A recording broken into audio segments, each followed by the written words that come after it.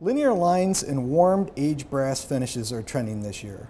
The Essence Trio by LBL Lighting has three streamlined linear lengths which are staggered randomly to create this dramatic and oversized interpretation of a chandelier.